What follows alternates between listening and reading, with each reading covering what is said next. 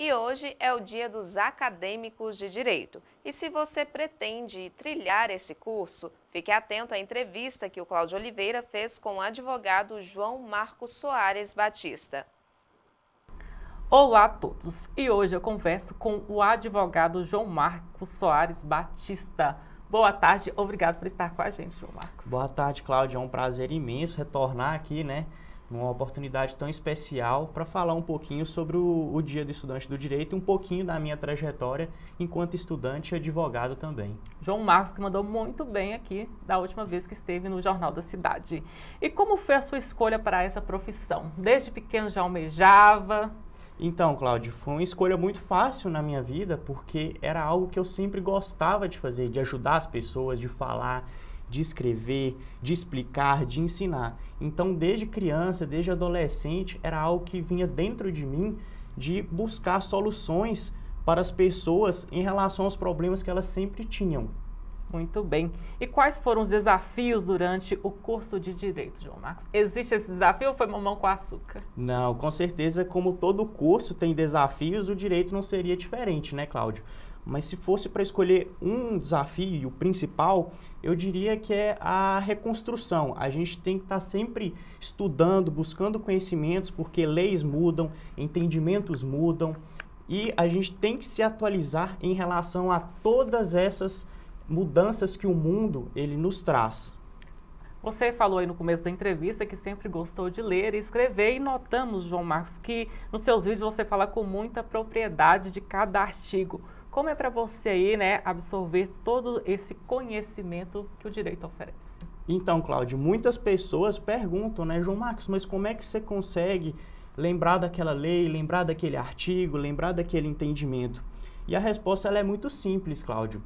A gente tem que estar tá sempre buscando conhecimento, lendo, se atualizando, como eu disse anteriormente, para a gente não ficar literalmente desatualizado, estar sempre ciente das novas é, mudanças que o mundo vem nos trazendo. Então, o fato de eu estar sempre estudando todo dia, lendo algo, algo diferente sobre o direito, vai me trazer esse conhecimento e esse entendimento contemporâneo.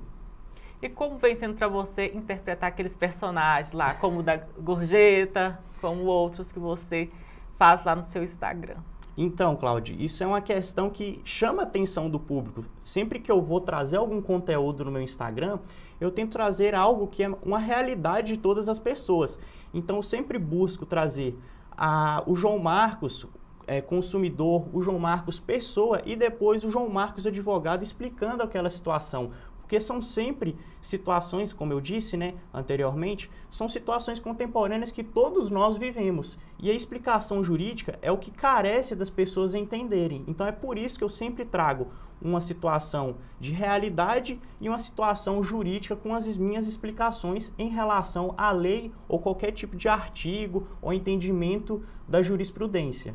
Todo dia acontece um fato diferente, né, João Márcio? Igual mesmo, parece que as crianças, os adolescentes querem processar os pais por ter nascido, algo do tipo assim, eu vi esses dias, né? Você já viu sobre isso? Sim, foi até um, um julgado recente, né, do TRF em relação a esse tipo de assunto. Então, é, a gente tem que estar sempre ciente de tudo que, que vem acontecendo no mundo jurídico, para a gente saber como que a gente se porta, porque, como eu disse anteriormente, o direito ele é muito, ele é muito atualizado, ele é muito rápido.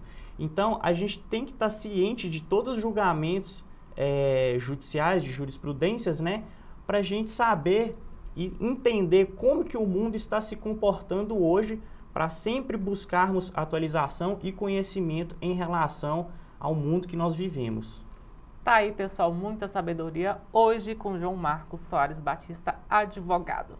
Então, João Marcos, quem está nos acompanhando aí, nossos telespectadores, o pessoal que está vendo pela internet também, qual recado você deixa para quem está cursando ou pretende cursar direito?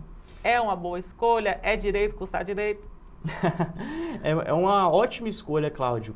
É porque o direito ele nos dá uma abrangência muito grande de vida e de conhecimento.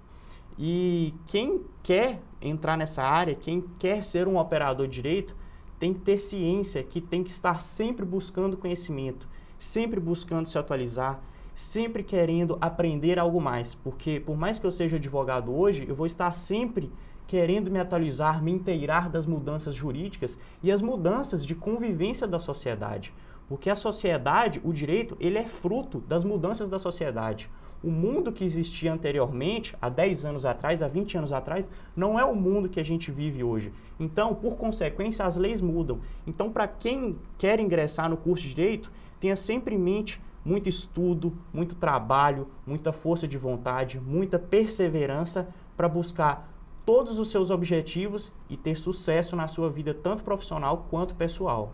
Tá aí, muito obrigado por estar conosco. Muito obrigado, Cláudio. É um prazer imenso retornar aqui e estar falando um pouquinho sobre é, a minha profissão e a minha trajetória. Fico sempre aberto a qualquer tipo de convite para estar aqui comparecendo e trazendo muito conhecimento para toda a população de Paracatu. Às vezes o pessoal que está nos acompanhando está curioso aí para ver as performances lá de João Marcos fazendo esses personagens. Onde encontrar João Marcos lá? Vocês podem me encontrar no meu Instagram, que é joãomarcos.advocacia, que lá eu vou estar sempre postando conteúdos jurídicos, às vezes até é, irreverentes, e que eu garanto que vocês vão adquirir muito conhecimento lá. Podem me seguir lá que vocês vão gostar bastante. Tá aí, pessoal. Este foi João Marcos Soares Batista, advogado.